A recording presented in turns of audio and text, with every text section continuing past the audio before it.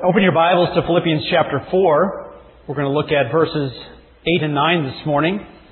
We live in a day where our communication has become increasingly short. We don't write long letters anymore. In fact, well, I can't remember the last time I wrote a long letter. We have taken our communication to a form of short messaging, text messaging, those of you that participate in Twitter, you have 140 characters to communicate something in Twitter. And we're so used to being able to communicate short, quick bursts of information. And perhaps this is a good point to say. If you're doing that in this next hour or so, it will hopefully be after we've dismissed Seriously, we use electronic devices in everything. We use it for speaking, we use it for our Bibles, we use it for taking notes, and I trust that the typing that you're doing on your electronic device in this next 45 minutes or so is for the purpose of taking notes and not communicating notes to someone else. But we communicate in short bursts of information. Now, if you were in a situation where you were aware that you needed to communicate to someone that you knew you would never see again, you'd never see them again, and all you had to communicate was something in a written form, uh, what would you communicate? What would you write? You probably wouldn't use Twitter to do it. You would probably use something longer. You might write an extended letter. Even if it wasn't an electronic letter today, you would write an extended letter. And you'd cover important things. You'd cover things in detail. My guess is that as you got to the end of that letter, you would have some short instructions that would say things like, now don't forget, now remember this, keep on doing this, similar to what you do as you, or if you still do this perhaps, when you leave the kids with a sitter. If the kids are old enough to understand instructions, you're going to give them a list of things. Now, don't do this and don't do that or that. You're telling it to the sitter. Don't let them get involved in this and make sure they go to bed at this time. And you're giving them short bursts of instructions. And that's really what we see here as we get into this, what we call the letter to the Philippians. We call it the book of Philippians. It's really a letter to the church of Philippi, and thankfully we have it in the scriptures for us. As we get into what we call the fourth chapter, we get to the part of the letter where the apostle Paul just lays out very succinctly his final exhortations to what he wants the church at Philippi and wants us to remember. Verse 1, we've already seen the first, I guess, uh, eight verses, seven verses here. Verse 1, he talked about living in spiritual stability. In verses 2 and 3, he wants them to have a harmonious spirit. In verse 4, he talks about having a joyous spirit. In verse 5, a moderate or gracious or reasonable spirit. In verses 6 and 7, uh, really a spirit that's free from worry and how to handle uncertainty. And so this morning, by God's grace, we'll look at the final two exhortations. One is very specific, and the other is kind of a concluding general exhortation. So let's, let's look at our text this morning, Philippians chapter 4. I'll read verses 8 and 9. Verse 8, Finally, brethren, whatsoever things are true, whatsoever things are honest, whatsoever things are just, whatsoever things are pure, whatsoever things are lovely, whatsoever things are of good report, if there be any virtue, and if there be any praise, think on these things. Those things which ye have both learned and received and heard and seen in me do, and the God of peace will be with you. And though we are far removed from this church of Philippi, some 2,000 years, we are not far removed in terms of the need for the same reminders. And so I believe these instructions, these reminders, and basically to have godly thinking and godly actions are very appropriate for us today. And so before we consider the exhortations, let's go to the Lord in prayer and ask for His help. Father in heaven, we are so thankful for your word and the fact that you preserve it for us, that we can study it and we can read it and we can evaluate our lives by it. We thank you for the Holy Spirit within us that uses your word to train us in godliness. And Lord, this morning I pray that as we consider these two very important exhortations to how we think and how we act, that Lord, you would do a work in our hearts, do a work that only you can do. Lord, I pray that you would direct my words and thoughts to be exactly what you would have, and that your word would have its way in our lives, that it would discern our thoughts and intents of our hearts today as it is promised to do. I pray that our response to that evaluation by your word through your spirit would be honoring to you, that we would not ignore your word, but that we would follow it. Lord, bless this time together, we pray. In Christ's name, amen.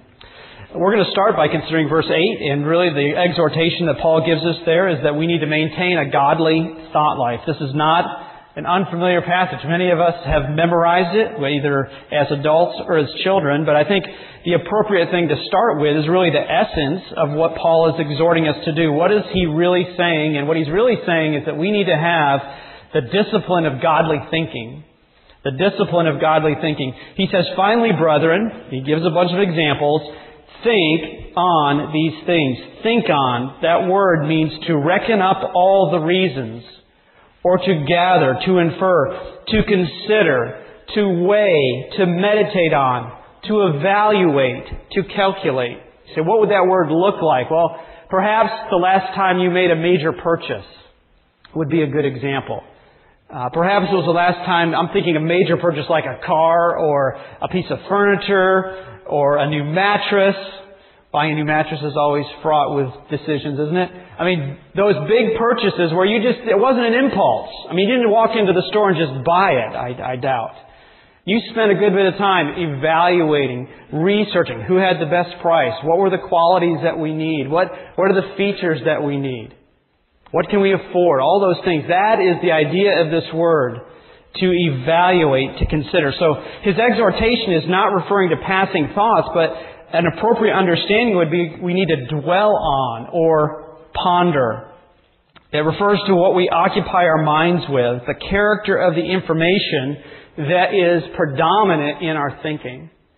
And notice the way he puts this exhortation. It's not like if you have the chance. Um, when you when you have the time, think on these things. It's a command. He says, I want you to be dwelling on, pondering, evaluating, considering specific things. And so this exhortation to proper thinking is not optional.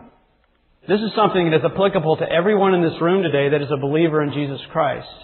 That we have the discipline of godly thinking, that we have control of the things that our minds dwell on setting our minds, setting our thoughts on things that have spiritual value. We must exercise this discipline in our, in our thought life to have godly thinking.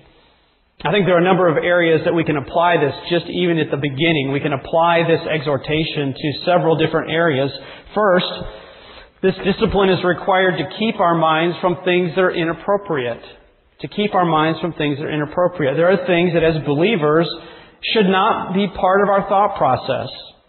We need to set a watch over our thoughts and really expel those things and seek forgiveness for those things that are inappropriate. Perhaps the classic or, or best passage to think about is 2 Corinthians 10 and verse 5 that says, casting down imaginations and every high thing that exalteth itself against the knowledge of God and bringing into captivity every thought to the obedience of Christ casting down imaginations. That word imaginations is the same, a same word in a different form. It's a noun form of the word to think on. Think on these things. And our instruction here is that we take those things captive. And what are we taking them captive to? We're taking them to the knowledge of God, to the obedience of Christ. You know, the word, world says it's okay to indulge our thinking in all kinds of lustful thoughts, in all kinds of material thoughts. All those things, the world says, that's fine. God says, no, it's not.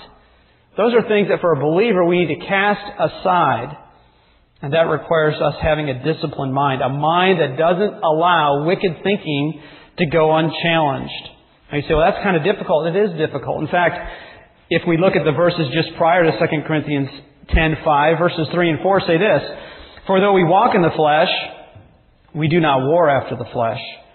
For the weapons of our warfare are not carnal, but mighty through God to the pulling down of strongholds. In other words, the author, uh, Paul, recognizes that this fight is not a physical fight, it's not a fleshly fight, it's a spiritual fight. And thankfully we have the Holy Spirit to help us make those decisions and to cast out those thoughts. We have the power of the Holy Spirit to help us, to protect us. What are some examples of thinking that as believers that are inappropriate? What about lustful thinking?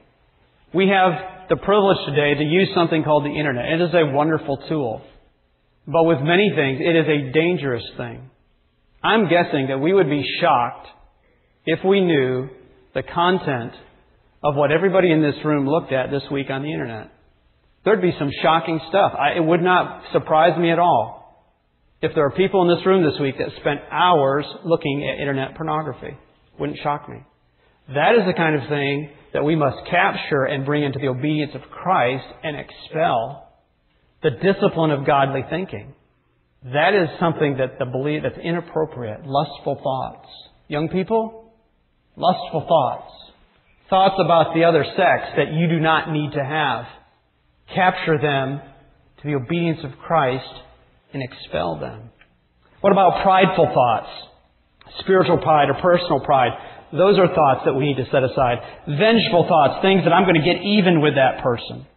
Here's one that we probably fail in a lot. Unbelieving thoughts. Things where we fail to trust God. Those are things we need to cast aside. Selfish thinking, self-centered thinking. All these things are things that are inappropriate in a believer's life. When Paul says, think on these things, have the discipline to ponder the right things, we need to make sure as believers that we are bringing those thoughts into the obedience of Christ. Another area that we must exercise discipline is in this idea of keeping our minds away from things that are just a waste of time. Have you thought about how much time we waste in our thinking? We ponder things. Concern over things that are outside our control. We talked about this just last week in verse 6 and 7. What does it say? Worry about everything. Make sure that you've got a contingency plan for every aspect of your life. That's what verse 6 says, right? No. It says the exact opposite. Be careful, be anxious, worry about just the big things. No, nothing. And so we could say that disciplining our minds, having, the, having our minds disciplined to godly thinking would say, not that I'm not worried about anything, but I am not going to get anxious. It doesn't mean we don't plan, that we don't lay things out, but it does mean that we don't spend our time thinking about things that are a waste of time. Okay? We're instructed not to be anxious. What about concern over material provision? Matthew chapter 6, if we had time, we'd turn there. But we understand that God provides for us. He cares for the smallest animals. When you see a bird outside your window in the feeder, you realize God cares for that sparrow. And I am much more valuable than that sparrow, and God cares for me. And so worrying about our, our shelter, our food, it's a waste of time. It's not godly thinking. Another area that's a waste of time is what others think of us. Matthew chapter 10. Fear not them which kill the body, but are not able to kill the soul, but rather fear him which is able to destroy both body and soul in hell. We get caught up in the fear of man. The opinion of men becomes more important than the fear of God. Sometimes we call that peer pressure. We really could call it disobedience because God says, listen, don't worry about what men think. If you're honoring me and you're obeying my word, that's what we need to be concerned about. And so we need to make sure we're disciplining our minds not to focus on things that are unproductive or just a waste of time. And so we must have really the essence of what Paul is saying here is that we need to have our minds disciplined to godly thinking. Now, Paul doesn't really give us an exact reason why this is important, but I think as we look at the rest of Scripture, uh, there are several things that are be important to consider, and I've been t- titled those the spiritual significance of godly thinking. What are, why is it spiritually significant to make sure that we have godly discipline in our thinking? Well, first, wickedness that defiles us comes from within us. This is exactly what Christ taught in Matthew chapter 7. Matthew 7, if you want to turn there, Matthew 7 verses 20 to 23, I'll read those for you. And Jesus is speaking here, and he said, That which cometh out of the man, that it is that which cometh out of the man that defileth the man. For from within, out of the heart of men proceed evil thoughts, adulteries, fornications, murders, thefts, covetousness, wickedness, deceit, lasciviousness, an evil eye, blasphemy, pride, foolishness. All these things come from within and defile the man. And obviously the context is the Pharisees were thinking that external, external purity was a means to holiness he, they were questioning Christ or the fact that the disciples hadn't washed their hands properly or gone through the ceremonial washing before they ate. And Christ said, listen, it's not what you bring into your body that defiles you, it's the wickedness that's within. And so this discipline over our thought life is very significant. It's very significant to our spiritual well-being. We have to have a guard on the inside for spiritual failure. In other words, we must be on our guard. Often we approach our spiritual life just as the Pharisees. We try to make the outside look as good as we can, and no one can see what's going on up here. The fact that our thought life is totally wicked. And yet Christ's challenge was, it's from within that we must be most careful. So the spiritual significance of our godly thinking is that we are defiled from the inside out. Also, another significant thing is that wicked actions start as wicked thinking. And we saw this just last Sunday night from James chapter 1. James chapter 1 verses 14 and 15 says, But every man is tempted when he is drawn away of his own lust and enticed. And when lust hath conceived, it bringeth forth sin, and sin when it is finished bringeth forth death. James lays out this four-step process of our thinking that turns goes from wicked thinking to wicked action and ultimately to death a desire, we're drawn away of our own lust. A desire starts in the mind. We give assent to it in our mind, and then it's conceived. It, it becomes a plan, and we contemplate it further, and then it bringeth forth sin. It's birthed into action. And ultimately, it brings forth death. For those that don't accept Christ, it is eternal death. For those that are in Christ, it is loss of fellowship. Not loss of relationship, but loss of fellowship. So that process of going from desire to birth to action sometimes takes split seconds. Your doctor has put you on a health plan that's very important for you. You have a very restricted diet. And you walk by the kitchen at work. And what's laying there? A big old bear claw, right? You know the ones. They're about that big, right? They look so good. And in an instantaneous second, you go from thought to action. That may be a silly example, but you can see that how the process of sin starts in our mind. Sometimes it takes a period of years for it to bear fruit, to bring forth death. You start entertaining wrong thoughts about another person, another person at your workplace, and that person starts talking to you, and you start going, wow, that person's more interested in me, in me than my spouse is. You start going to lunch together. You start spending more time together. Over the period of time, what started just as a thought ends up in a wicked act. And so the spiritual significance of disciplining our mind is that wickedness starts in our mind. Wicked action begins in our mind. And so that is why it is so important that we exercise this discipline. Now, Paul gives us the content of our godly thinking. He gives us six or eight things here that really should represent what we are thinking about. What should it look like? And let's run through these, each one of these very quickly so that we have an understanding of it. He says, first of all, we are to consider our, our minds are to evaluate, be pondering, to be spending time on a category of content that is defined as true. True. That which is truthful. That, that which represents things as they really are. Not as we perceive them, not as how we think they are, but what is true. God is the source of all truth, and therefore whatever He thinks is right is right. It doesn't matter what you think is right. It doesn't matter what you think reality is. If it does not conform to truth, if it does not conform to God's reality, it's not real. And so God is the source of all truth. And so we need to make sure that our thinking is centered on that which is true, that which is real, that is, which is reality in every situation. If God calls something sin, then it is sin. And that needs to be our manner of thinking. We need to have that framework, that category of thinking. Notice the next one, honest. Honest. And this word could really, the word in the original means that which is worthy of honor, that which has uh, worthy of reputation, that which is noble, uh, dignified, worthy of respect. And this helps us to put a category of things where the disgusting, sinful things of the world are not honorable. And we put those aside. Put the context of perhaps the television viewing or the video game playing or the other entertainment that you participated in this week. Is it honorable? Is it venerable? Is it worthy of respect? See that, this is where it's very, very practical in our daily lives, in our daily walk. Everything that we do should be going through this filter. Notice third, it's just. A third category of regulating our thinking is just. Uh, the word most of the time is translated righteous.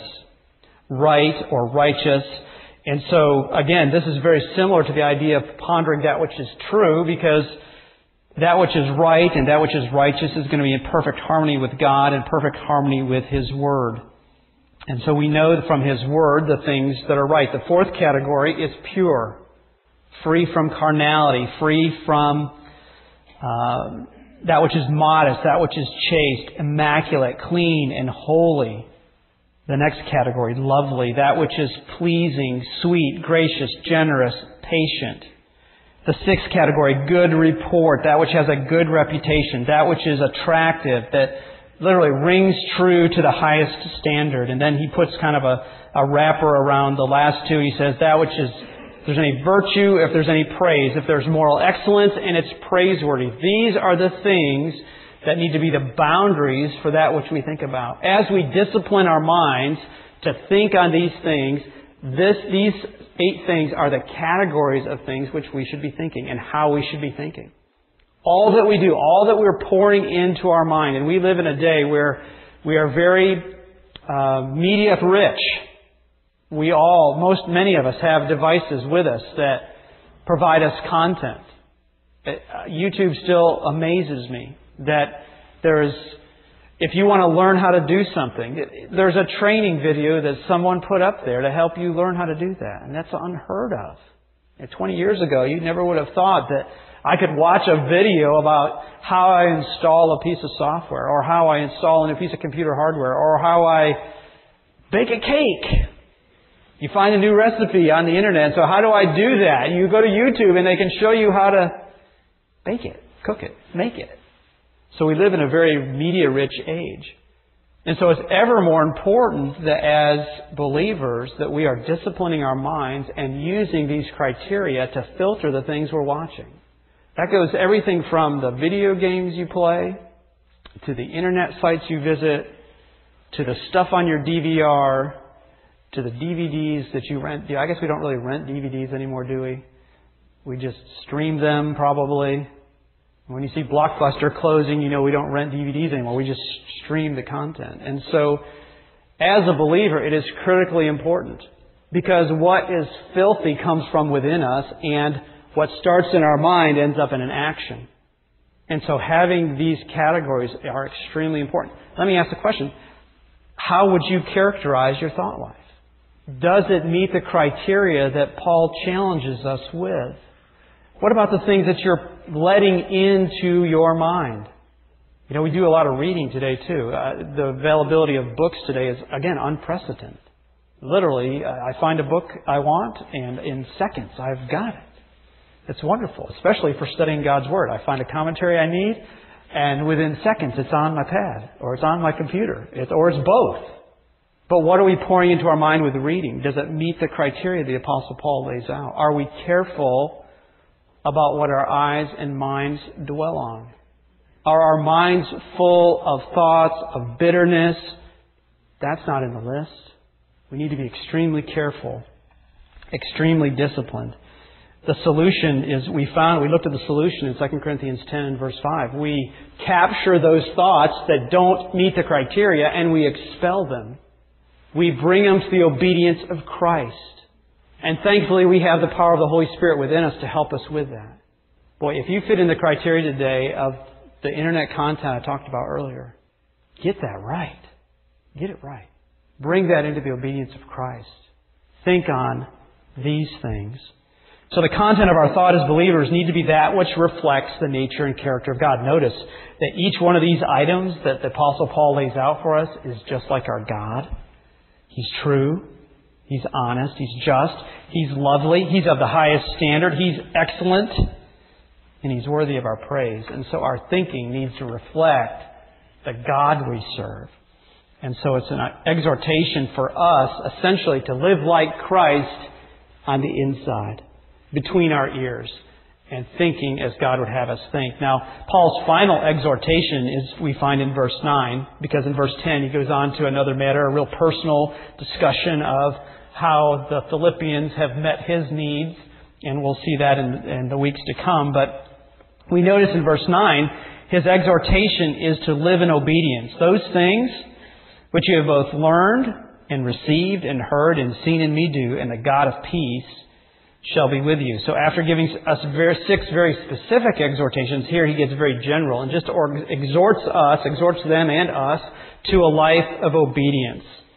And we need that reminder. I think the amazing part is how the Apostle Paul starts again, is in, that is in his personal example of obedience. He says, Those things you've learned, received, heard, and seen in me, do them. And once again, Paul is laying out his own life as an example for them to follow. We've seen that in previous weeks. The idea of the word seen there is to see with the eyes, to perceive with the mind, to become acquainted with, by experience. So Paul is appealing to his firsthand experience, the time he spent in Philippi. They were able to see his life uh, and, and, laid out before them. It tells us a number of things about Paul. First of all, it tells him that he understood for te- the need for teaching by example. He understood that it was impossible to teach everything only by words or only in writing, that there were some things he had to show, even about the Christian life. And sometimes the ones we teach are just not able to grasp the lesson. They have not been through the difficulties we've been through. And they, they can hear you talk about making it through a trial, and yet they've never been through it. And so Paul used his own example. Sometimes the maturity level, the people you're trying to teach, they just can't grasp the concept. If you've got teenagers, sometimes trying to teach teenagers the realities of adult life, they just don't get it. They don't understand the pressure of a mortgage. They don't understand the pressure of a work schedule. And so you have to demonstrate how to handle that in a godly manner by your example. Paul also, we know from his statement that he was confident in his consistency. In other words, he was living what he had taught. You know, it's, it's very obvious that it's possible for us to teach a truth and never put it into practice. Probably the best example I think of is the parent screaming at their kid to stop screaming at their brother. Stop screaming at your brother! Oh, yes, okay. Um, well, how do you think they figured out how to scream at their brother? Oh, it's because their sister was doing it. That's what it is. Yeah. That's what it is. No, they follow your example. And so Paul was able to say, look at my life because what I'm teaching and what I'm doing are consistent. It also tells us that he was confident in his own obedience. He, he was living what he knew. I mean, think of where Paul was. He had the scriptures, the Old Testament scriptures to follow. But the instruction of the New Testament, well, he was writing it still. And so as he interacted with God, as God taught him things, he was living what he knew to live and what he knew was right. And so, although it's not expressly stated here, I think it's appropriate for us to take the opportunity to evaluate our own obedience and really our own example. Are you using your life to teach? what can only be taught by example. What kind of an example are you? Are you displaying the proper walk with Christ? What about to your children? Do your children see a consistency? Well, Dad says we can't watch this, but when I leave the room, he watches that. Now, there may be news stories and news shows that are for someone that has a more mature mind. But the kids need to understand that. They need to understand that. But can your kids see a consistency? Are you telling them to do one thing and with your life, totally different? Kids, it's important that we put God's truth as a priority, but they never see you in God's truth. Or when it comes time to come back for the service tonight to be a part of our study in James, well, there's a football game on, guys, that I just gotta see. What does that communicate? You can say, well, going to church and being in the Word and being around God's people and participating in Bible study is so important, but it's not as important as a football game that you can DVR, by the way, and watch later. What about to your spouse? You know, your spouse probably knows you better than anyone. Are you being consistent in front of that person? Are you being an example of godliness to them? Wives, are you being a godly example of to your husband? So I thought that was supposed to be the other way around. No, wives can be an example too. There are things that we can, guys, we can learn from our wives, and vice versa. Ladies, there's things you can learn from your husbands. What about to coworkers? Are you demonstrating a proper life to your coworkers? You say, oh, my coworkers are lost. What better example to demonstrate godly living than those that are lost? Classmates, students that are here. Are you an example of obedience in class? You say, well, that's not cool. That's totally not cool. In fact, I'd get ridiculed for it. Then be ridiculed for it. If we're going to get ridiculed for doing right, so be it. So students, whether you're a college or a high school student here, obey. Be an example in your obedience. Are you living what you know to do? You know, we, we do not live in an age where we, we haven't been taught. We've been taught a lot. In fact, you've probably heard messages from this passage. You say, yeah, they were a lot better. That was funny, okay? Y'all can laugh. All right. Maybe it wasn't funny. Um, but we're not without obedient, uh, abundant teaching. We have been taught. We have books, abundant books to read. We have commentaries to read. We have uh, study guides to read. Are we doing what we know to do? Are we doing what we've been taught? Are, being, are we being obedient in that manner? Are you consistent in what you require of others? Paul, Paul's ability to really make his own obedience a standard is really remarkable, and we should seek to have that kind of consistency, where we can demonstrate the example of obedience. There's several things I think as Paul Paul lays out this exhortation that demonstrate really the problems uh, that we have with our obedience. I think from the beginning of our lives we struggle with obedience. I think we all think, you know, someday, as a teenager, you think, someday I'm going to be out from under dad and I'm in charge. Yeah, that's going to be great. And then you get to that point and you realize that you still have a boss that's in charge. You're like, ooh, this is kind of like being under dad. You go, well, I'm just going to start my own business and I'm going to be my own man. And then you've got customers that are in charge. And we all have the Lord over us. And yet we all struggle. We all struggle with obedience to authority. And so Paul, it's interesting how he kind of deals with those issues in his, how he writes this. We often apply selective obedience, and, and so you see him writing those things which you have learned, received, and heard, in addition to what you've seen. He's very thorough in his description of their obedience the things that you have learned. That would actually be, the word there is a word that's used uh, in other parts of the scripture to describe the discipleship relationship. That discipling, the instruction, that even one-on-one instruction that I've trained you in. So they have to obey that. The things that have been received.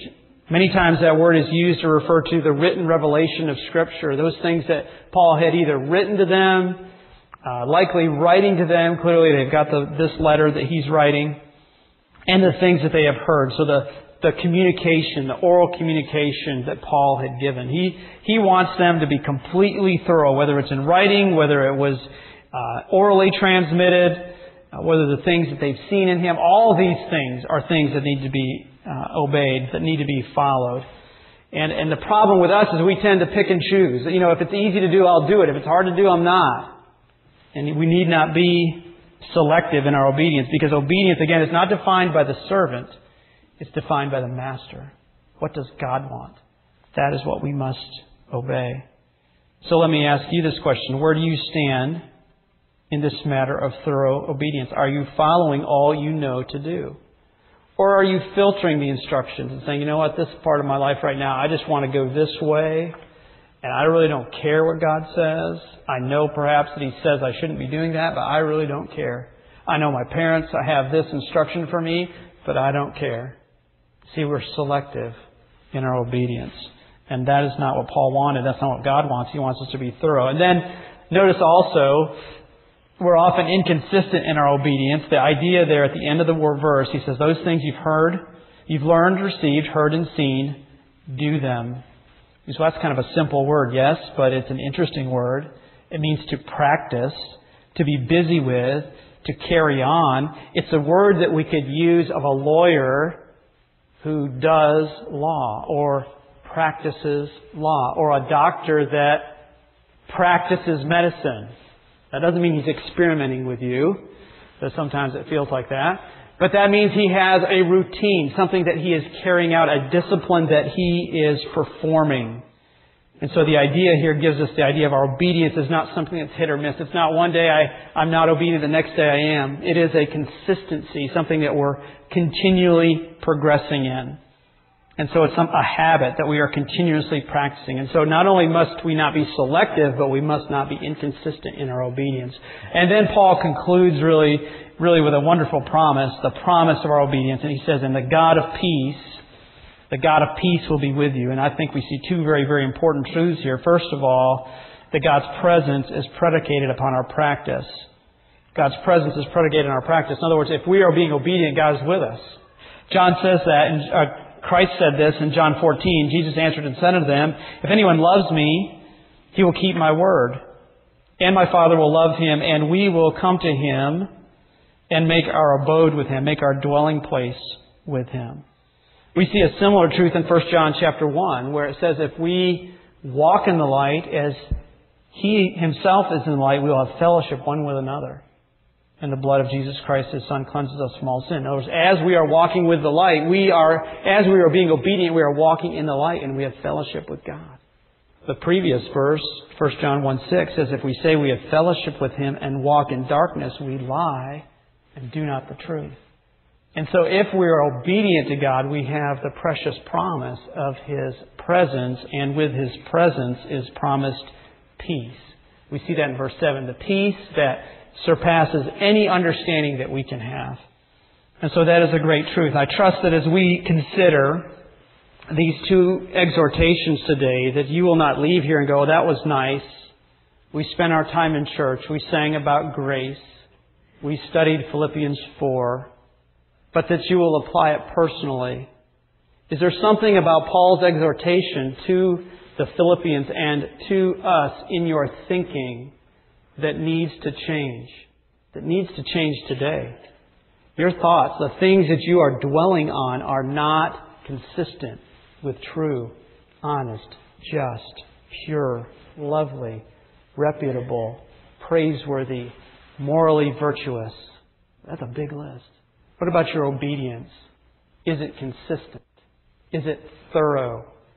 Is it such that it can be an example to others, not out of pride, but showing others how to walk? That's the exhortation we have. If there is an issue that God has pointed out to you today, the proper response, say, God, I submit.